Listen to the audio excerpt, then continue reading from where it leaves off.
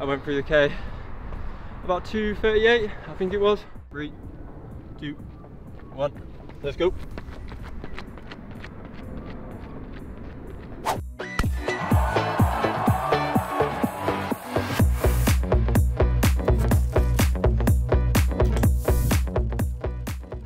Guys, it's Tom here from Pro Direct Running, and you join me at Lee Valley Athletics Track, where we're enlisting the help of elite middle distance runner Dan Jarvis to put a series of shoes in the Nike running lineup through their paces. So Dan's going to complete a 4x1200 meter session for us using each of the shoes in different categories of the lineup to work out whether the pinnacle performance shoes in the Nike lineup are worth your hard-earned cash.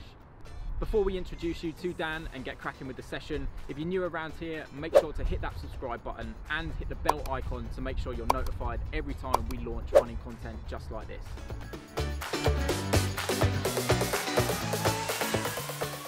Hello, my name is Dan Jarvis and I'm an elite middle distance athlete who has represented Great Britain on the track for the 3000 metre steeplechase and on the cross country in 2017 in San Marino.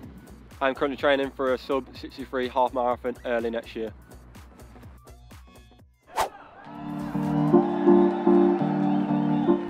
So it's a typically cold British winter's day, so we've given Dan a nice amount of time to do a little warm up, and whilst he does that, I'm going to take you through the shoes that he's going to be using in today's session.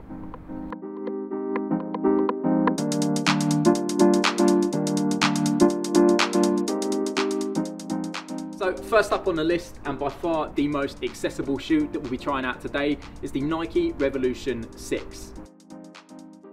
At just over 50 quid, it doesn't pack many bells and whistles, but if you're just getting into running and you're looking for your first pair of running shoes, then you don't want to break the bank, they could be a pretty solid option to bear in mind. I'm personally pretty intrigued to see how Dan gets on in these as I know he's used to some of the top tier performers, um, so it should be interesting. So the next shoe that Dan's going to be using for his second 1200 meter rep is the Pegasus 38. Now, obviously, it's a very reliable, tried and tested daily workhorse of a shoe, but it may not be your first pick for track sessions. It's got a slightly heavier React midsole, but it is still decently versatile, so it'll be interesting to see how Dan fares in the Pegasus. Alright, so the penultimate shoe that we're going to get Dan running in is the Vaporfly Next Percent 2. Now, if you're watching this video, you might not need me to tell you too much about this shoe, but we've got a full-length ZoomX midsole, the carbon fiber plate, very lightweight upper, but the stack height of this shoe obviously exceeds 25 millimeters, therefore making it technically illegal for track racing. We know that Dan uses this shoe quite a lot in his training, as he mentioned earlier, so I'll be interested to see what sort of times he can knock out for the 1200 meters in these before he jumps into the spikes. So last but not least, for the final 1200 meter rep, we're gonna get Dan laced up in the Nike Dragonfly. Now, the Dragonfly shares some of the same characteristics as the Next Percent with the same ZoomX foam in the midsole, but we've got a partial plate in here and it's not made of carbon, it's a, a composite plate and an impossibly lightweight upper. The Dragonfly really is a top pick for middle distance runners out there, even those not sponsored by Nike. Just to clarify before we get started, in keeping with the IAAF rulings, it is technically illegal to race on the track in a shoe which exceeds 25 millimeters of stack height, so just bear that in mind when making your purchase decision for shoes that you may be racing in.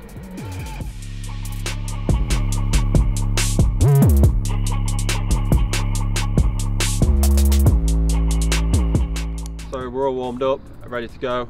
Um, the session's gonna be four by 1200 meters with a shoe change recovery and a little bit of briefing about how I responded to the shoes each rep, but we're all good to go. Three, two, one, let's go.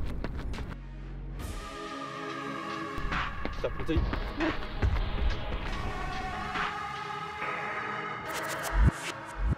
In terms of time, it's probably a little bit quicker, Yeah. but likewise, there is a noticeable difference with the shoes that are soft. Yeah. But realistically, I don't think there's going to be a massive amount of difference between these and the pegs. So we're going on to the second rep now. Three, two, one, let's go.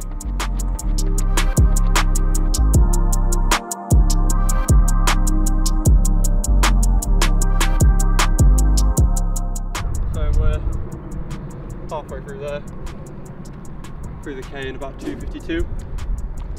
So, the commented, a little bit more relative distance to talk about. Um, through in 252, so seven seconds faster than what I went through in the Revolution.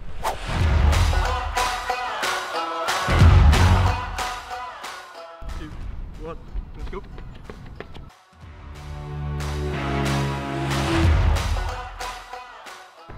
It's noticeably quicker.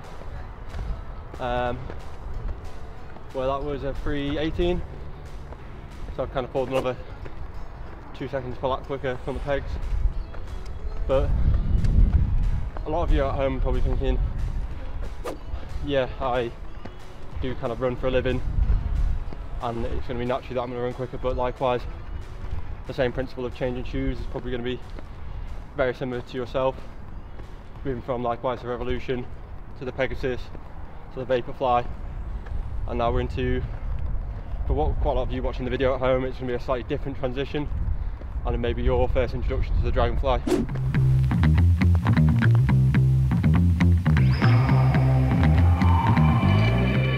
Last rep, Dragonfly's on. Three, two, one, let's go.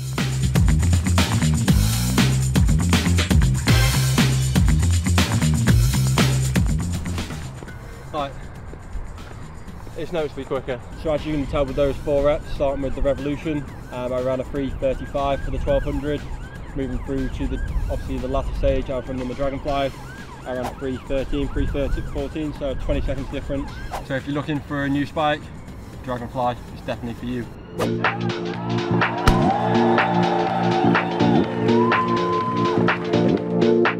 So to recap, what did you run in the Revolution 6 for the 1200 metre rep? So in the Revolution 6, I ran at a 3.36 for the 1200, going through the K in around 2.59 to 3 minutes. Beautiful. And in the Pegasus 38? So onto the Pegasus 38, I think it was a 3.26, going through the K in 2.52. Yeah, so quite a noticeable difference, um, you say. Uh, if we get into the business end and start talking about, you know, the, the, the carbon plated shoe that we use today, the Vaporfly Next Percent 2, I know personally that you've got every colourway under the sun of this shoe, you wear it a lot, you race in it.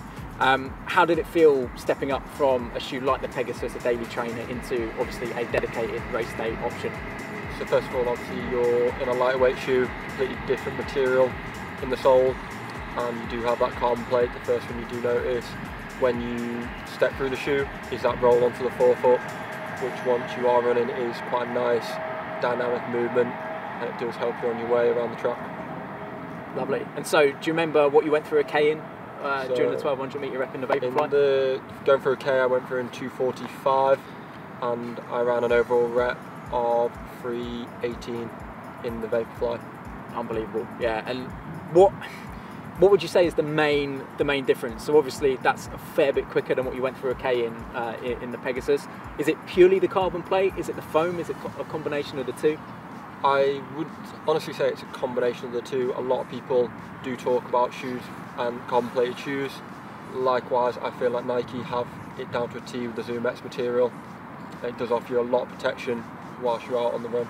Yeah, I mean, it's no secret, isn't it? You know, every brand's got a carbon plated shoe these days, but people are still, the majority of people are still gravitating towards the Vaporfly for that Zoom X. So, yeah, can't argue with that. Um, and I guess finally, looking at the Dragonfly, again, a shoe that I believe you've used previously before, but not not extensively. Um, how did it feel stepping down into a slightly more minimal shoe and a lighter shoe compared even to the to the Vaporfly? So at a high end level, uh, this is my go-to shoe um, when I run on the track from 1500 um, a mile all the way up to 5k on the track. Um, and I brought it obviously into my rotation in summer 2020 when it first released. I don't see any other contenders um, bring, taking it out of that rotation in the near future. Yeah, and so getting into the nitty gritty in terms of timing, um, what did you go through a K in for the 1200 meter in the in the Dragonfly? If you remember? in the Dragonfly, I went through the K in 241 to 242 was the approximate split. That's disgusting.